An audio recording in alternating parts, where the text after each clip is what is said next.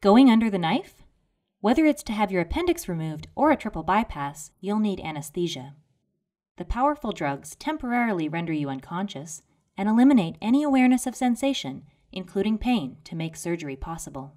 Scientists know a lot about how these chemicals work, but there are still mysteries about what happens at the molecular level. Where exactly does propofol bind to produce its body and mind numbing magic? What about barbiturates? Now, a team at Massachusetts General Hospital has studied four anesthetics in detail, revealing differences and similarities in how they work. Many general anesthetics work in part by boosting the activity of inhibitory receptors in the brain and spinal cord. These receptors are tiny channels that respond to the neurotransmitter GABA.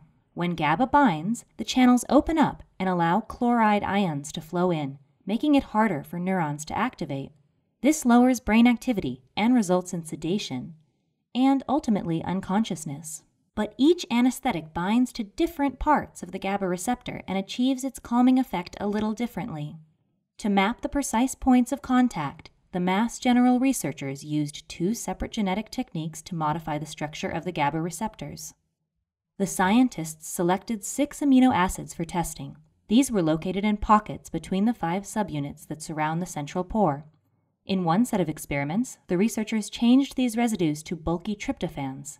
At some locations, such as between the alpha and beta subunits, mutations reduced the ability of the anesthetic to enhance the receptor's response to GABA, suggesting the drugs normally occupy these sites.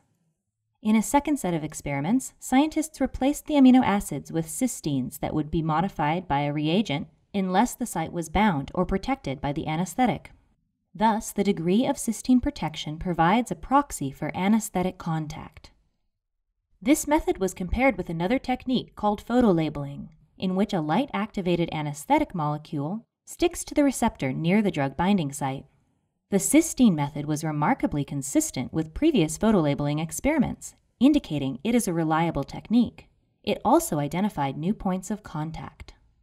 In the end, the researchers found that the general anesthesia drug etomidate binds to the GABA receptor between the alpha and beta subunits, whereas a barbiturate binds between the alpha and beta or gamma and beta subunits.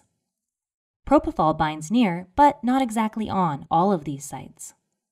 On the other hand, a neuroactive steroid didn't bind to any of these locations, and none of the drugs made contact between the alpha and gamma subunits.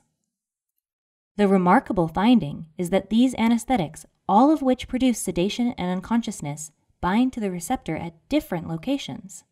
Understanding these sites could be useful in the future and may lead to the development of better anesthetics, giving patients more options and potentially safer surgeries.